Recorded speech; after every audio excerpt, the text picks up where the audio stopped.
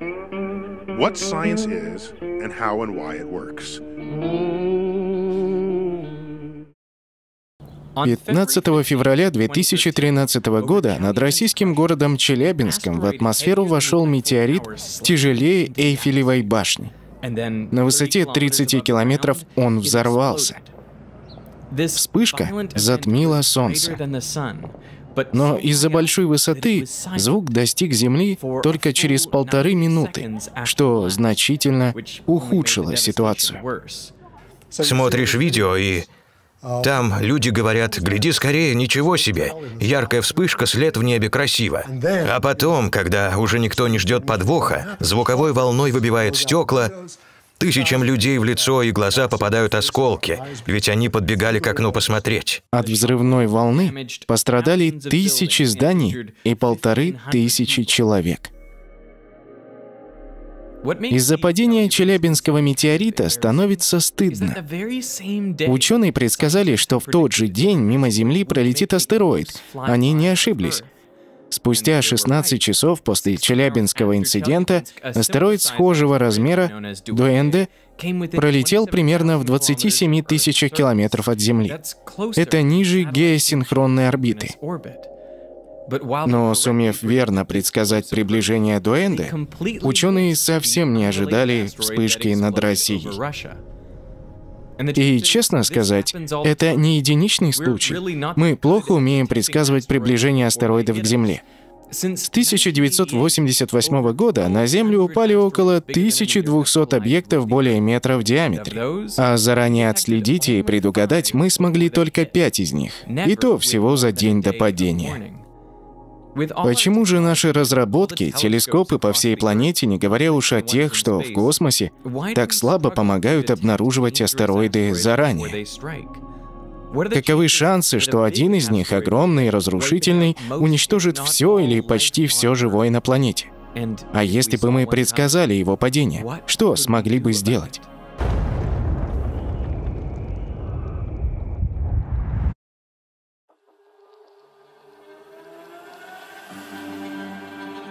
Астероиды — обломки, сохранившиеся со времен формирования Солнечной системы.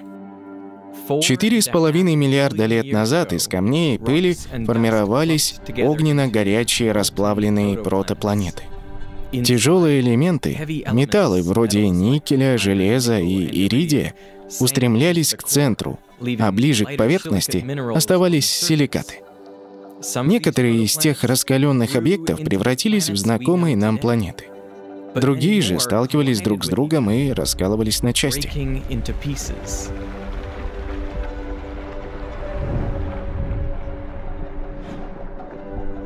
Эти фрагменты продолжили свой путь по орбите вокруг Солнца, врезаясь подобно им и распадаясь на еще меньшие осколки. Те осколки и есть астероиды.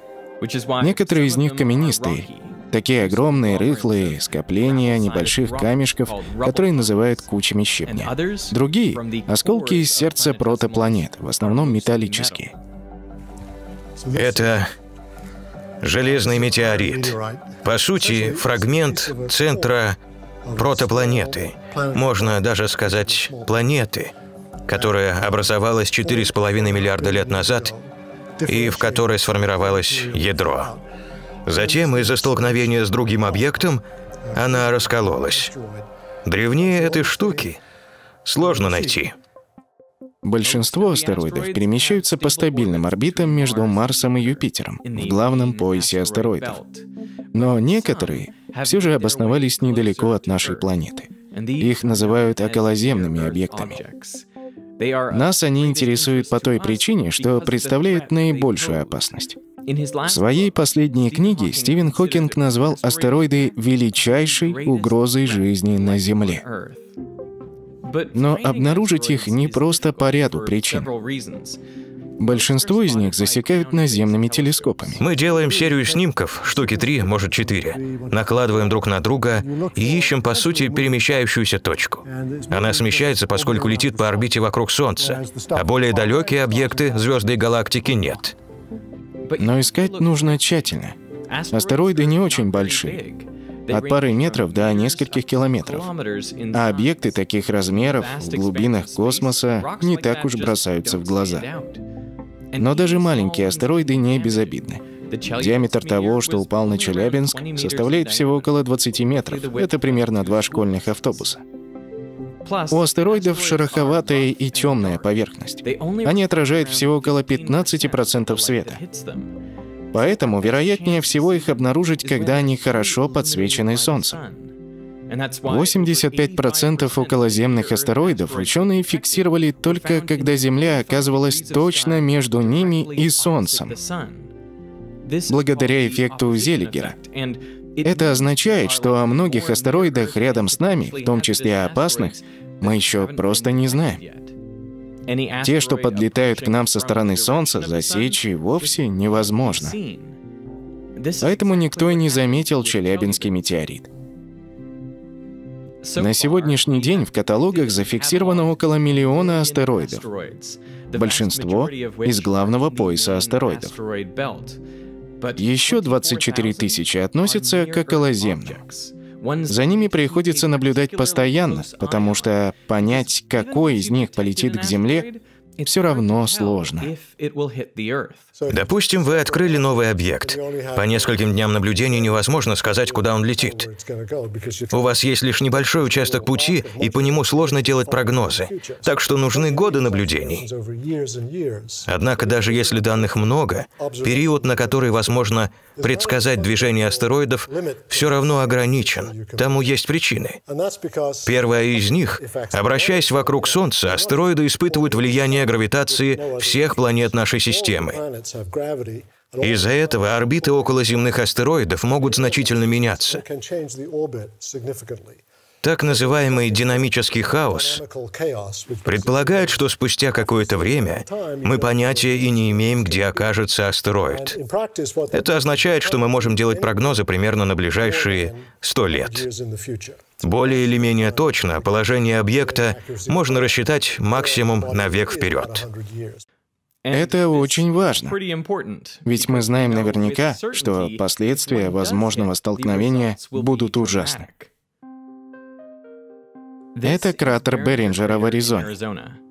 Он получил свое имя в честь владельца нескольких шахт Дэниела Беринджера, который первым предположил, что кратер образовался из-за падения метеорита. Вплоть до 50-х причиной его появления считали вулканическую активность. Однако Беринджер был уверен, что в том месте на Землю упал железный метеорит. В 1903 он получил в свое распоряжение участок с кратером и начал бурить в надежде найти огромный кусок металла. Беринджер надеялся, что находка будет стоить миллиард долларов по тем временам. Ну, людей мотивируют деньги, так? Вот они и решили, что могут раздобыть железо бесплатно. Начали бурить дно кратера, но так ничего и не нашли. Но дело это не бросили. Бурили вокруг годами, даже десятилетиями. Решили прокопать в бок. Кто-то подсказал, что метеорит мог упасть под углом. Кстати, так и было. В общем, подумали, что железо может быть сбоку, и начали бурить под стенками кратера. Если поехать туда, все эти дыры видно. Но в итоге никто ничего тогда не нашел. Никто не знал, что Столкновение на такой скорости — это не из пушки по стенке стрелять, когда ядро пробивает кирпич и застревает или вовсе отскакивает. Тут все гораздо мощнее. Происходит взрыв. Кинетическая энергия объекта, который летит со скоростью, ну, 30 км в секунду. Этой энергии достаточно, чтобы метеорит просто испарился, превратившись в газ. Очень горячий газ под давлением. При столкновении получается взрыв, образуется кратер. А от самого метеорита после падения почти ничего не остается. Разве что небольшие осколки. Но тот был метров 50, так что практически без шансов. Беринджер искал то, чего уже не существовало. Беринджер бурил кратер 27 лет, уйдя вглубь больше, чем на 400 метров. Но то, что он искал, испарилось при ударе о поверхность за 50 тысяч лет до этого. 50-метровый астероид, не намного больше Челябинского, разбился о Землю, выбросив 10 мегатонн энергии в тротиловом эквиваленте. В 600 раз больше, чем бомба, сброшенная на Хиросиму. Больше всего падение метеорита похоже на взрыв атомной бомбы.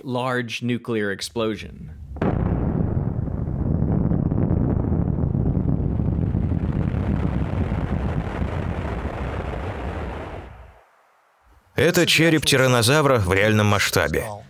Мне показалось здорово иметь такую штуку, и я купил себе этот череп. Динозавры вымерли после падения 10-километрового астероида примерно 65 миллионов лет назад. Падение любого объекта радиусом больше пары километров сопровождается выделением такого количества энергии, что это имеет глобальные последствия.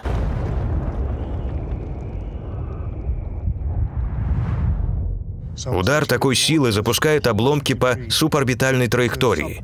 Куски породы поднимаются в воздух, а затем снова падают на поверхность, долетая до противоположной стороны планеты. В результате небо вспыхивает множеством горящих падающих обломков.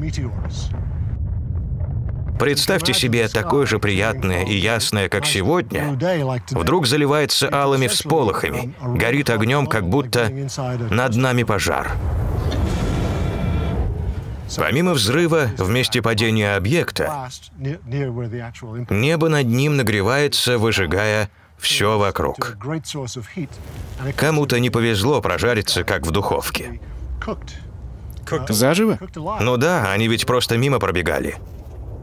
Шанс выжить был только у тех животных, которые находились под землей или, может, в воде. Они восстановились и спокойно освоили новые места обитания, ведь главной проблемы динозавров больше не было. Какова вероятность, что в Землю снова врежется 10-километровый астероид или что покрупнее? Ну, для удобства предположим, что человек живет сто лет. Такого размера астероиды, которые способны вызвать массовое вымирание, врезаются в Землю где-то раз в 100 миллионов лет. Вероятность такого события в течение года – один к 100 миллионам. Получается, всего у человека один шанс на миллион умереть из-за падения такого метеорита. Но на самом деле мы знаем, что нет ни одного подобного объекта, который столкнется с Землей в ближайшие 100 лет. Так что дождаться подобного события у вас шансов нет. Уже проведены расчеты, и мы точно знаем, что здесь вероятность равна нулю. Что ж, хорошие новости. На нашем веку огромный астероид никого не убьет, как это случилось с динозаврами. Но более мелких объектов довольно много. На один астероид диаметром 10 километров приходится примерно тысячи километровых, а они тоже способны не слабо навредить. Один-два километра. Они поражают небольшую территорию, но довольно серьезно. Вся планета не вымрет, но вот область размером с европейскую страну, вроде Франции или Германии, эти две мои любимые, вполне. Такую территорию астероид в 1-2 километра без проблем сравняет с Землей. А знаем ли мы обо всех подобных объектах, которые летают вокруг? Считается, что нам известно 90 с чем-то процентов таких астероидов. Кажется, 98. Их обнаружили, просчитали орбиты, и мы можем предсказать их поведение лет на 10 вперед. Пока все в порядке, но не стоит забывать, что есть еще астероиды, диаметр которых чуть меньше километра, например, метра восемьсот. Столкновение с ними не сильно лучше, если честно. Вероятно, поэтому астероиды и представляют такую угрозу. Несколько сот метров достаточно, чтобы стереть с лица Земли большой город, но слишком мало, чтобы отследить все такие объекты. Мы знаем, что обнаружили далеко не все, а их размера хватит, чтобы доставить массу неприятностей, если они упадут в подходящем месте. Например, разрушить город. Да, там точно рухнут здания, город охватит пожар, а от удара о землю в воздух поднимутся осколки, которые затем обрушатся на огромной скорости, выжигая все на сотни километров вокруг. И это может хоть завтра случиться? Да, вполне. Если мы заметим, что к нам летит что-то крупное, какой план?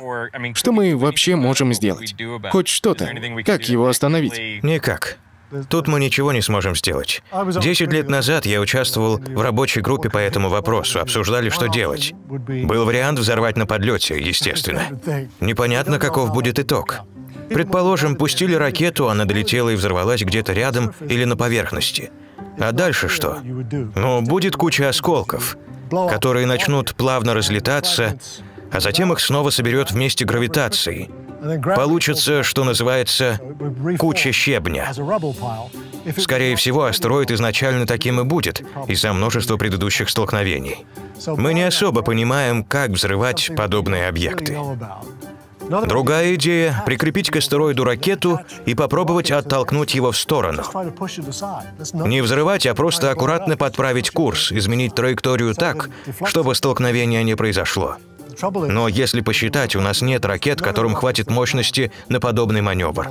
Плюс ракету придется крепить к астероиду, чего мы не умеем, а сам астероид вообще-то вращается, да и толкать придется пару сотен лет, чтобы хоть как-то повлиять на его маршрут. Так что про бомбы и ракеты можно сразу забыть. Предлагали нагреть астероид, раскалить одну сторону лазером, но достаточно мощных лазеров у нас нет. Да и в принципе создать такое, чтобы стрелять по астероиду с Земли мы вряд ли сможем. Придется вести его в космос, а это еще сложнее. Есть идея обернуть астероид в фольгу, обычную алюминиевую. Прекрасный вариант. Кстати, возможно, лучший из всех, что есть. Но опять же, вряд ли сработает, потому что непонятно, как это сделать. Мы не знаем, как отправить в космос достаточно фольги, а потом завернуть в нее астероид но это бы изменило его отражательные свойства, и он сам отклонился бы в сторону. Так что, если говорить прямо, мы не знаем ни единого рабочего способа избежать столкновения с астероидами километрового диаметра. Это те, которые легко уничтожат страну? Да, и мы не знаем, что делать. А 10-километровые? 10-километровые еще безнадежнее, без шансов. Знаете, во время обсуждения у всех масса идей. О, и то можем сделать, и вот это, но ничего не сработает. В конце концов, додумались до простейшей идеи. Если мы сможем вычислить, куда именно врежется астероид, над каким городом взорвется, то получится эвакуировать людей. А потом ознакомились с тем, как проходили подобные мероприятия. В некоторых ситуациях об эвакуации предупреждали за неделю, например, если городу грозил ураган и потоп. И, в общем, Эвакуация тоже так себе вариант. По очень и очень простой причине. Из города ведет не так много дорог. И когда уехать пытаются одновременно миллионы людей, первая же заглохшая машина блокирует движение. В итоге все население стремится прочь из города, на который летит астероид, но уехать они не могут из-за огромных пробок. И все же эвакуация, похоже, пока самый надежный способ попытаться спастись. Хотя организовать ее очень сложно. Слишком уж много людей нужно вывести. Я думаю, разумные люди для себя могут заключить, что в первую очередь нужно делать то, что мы можем сделать. Давайте искать астероиды. Давайте исследовать, давайте строить телескопы, отправлять их в космос. Это большой шаг к пониманию, насколько страшны для нас астероиды. И потом, когда мы найдем объект, представляющий наибольшую опасность, получится бросить все силы на то, чтобы разобраться именно с ним. Тогда у нас будет четкая цель и будет понятно, какими способами мы сможем себя защитить. Переведено и озвучено студией Верт Дайдер.